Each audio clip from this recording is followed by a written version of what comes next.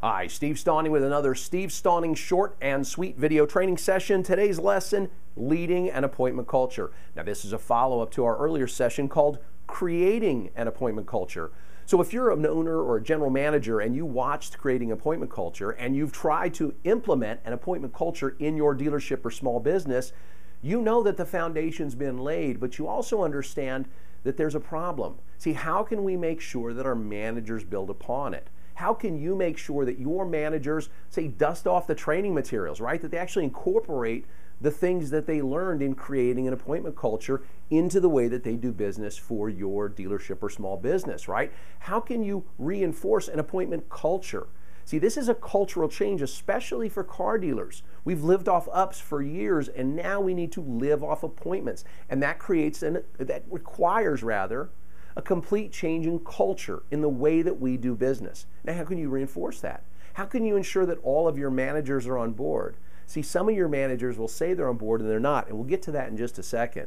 See, how can you drive a belief in activity and accountability? We've lived off results forever. We've lived off not holding people accountable forever, especially in the car business. So, how can you drive this belief that activities matter more than results? Remember, in creating an appointment culture, if you drive the activities, the results will come. And it's all about accountability. How can you drive that belief? And finally, how can you make sure that your managers are going to execute even when you're not there? That's the critical part.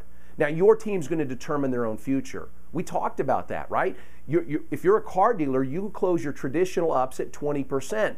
But if you follow the perfect appointment, the perfect appointment that we taught in creating an appointment culture, you know that you can close your VIP appointments at 80% month in, month out. But it's up to you.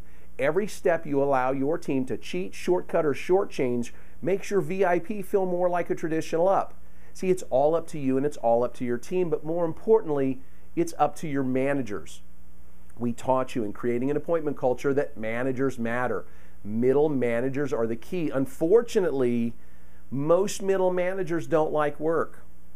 See, most middle managers, they don't like change, right? And here's the biggest problem a lot of your middle managers are passive aggressive. That means they're going to tell you to your face, hey, boss, I'm on board. But in their head, they're saying, but you know, you know in your heart, boss, I'm going to try and sabotage this. See, there are lots of pitfalls and roadblocks to trying to change a culture within any business, but especially a car dealership. Now, for creating an appointment culture, middle managers are critical. They're the key. So, we talked about the passive aggressive middle manager. That's the one that you need to watch out for the most. But there are other pitfalls and roadblocks that can derail your appointment culture before it even gets started. One is the mom versus dad scenario. Now, if you're married with kids, you know what I'm talking about. Dad says, uh, You can't do something, so the kids run to mom and ask her, and she says yes. And sometimes it's the other way mom says no, dad says yes. You can't allow this to happen in your business. See, everybody needs to sing from the same hymnal. If you have rules and you want to put those rules into place, then everyone needs to enforce them. You can't have one soft hearted manager thinking he's doing the right thing when we all know tough love is what your team needs. Another problem that you need to watch out for is something called falsification, shortcuts, and freelancing. See, if you have a CRM tool and you try to manage strictly from the CRM tool and you don't manage the activities in reality, you don't manage them in real life, see, your team can create fake activities in the CRM. They can click to make fake appointments, they can click to say that they made phone calls that they didn't really make.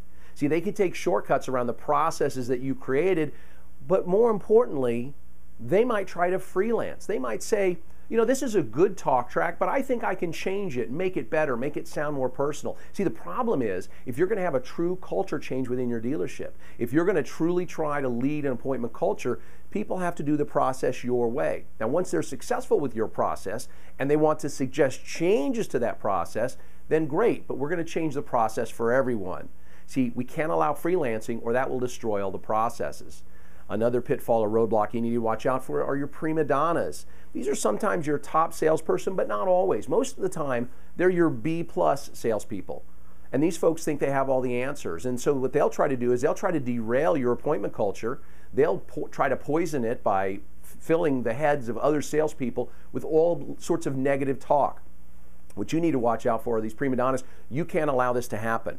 Now, I've never worked for or worked with any business that didn't lose their top salesperson and wasn't better off for it after that person left. Because a lot of times we find out that person was a prima donna.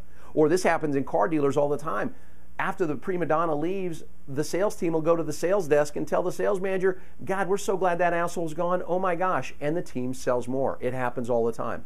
And finally, the last pitfall roadblock I want you to watch out for is something we call the powerless champion. See, if you're the owner of the business, you can try to drive this appointment culture, and this is certainly a top down proposition here. You have got to drive this from the top down. However, you also need a champion in the dealership, someone who's going to be there all the time, someone in your business who you can say, okay, this is the person that's going to drive it when I'm not there.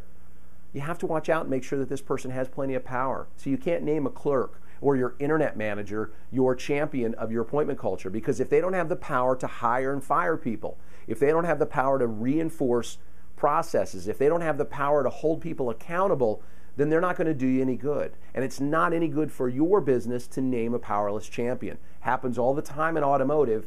If you've done that, you need to go back and make the change again. Now remember this. Anytime that someone veers off course just a little bit in your efforts to drive an appointment culture, you need to make course corrections early and often.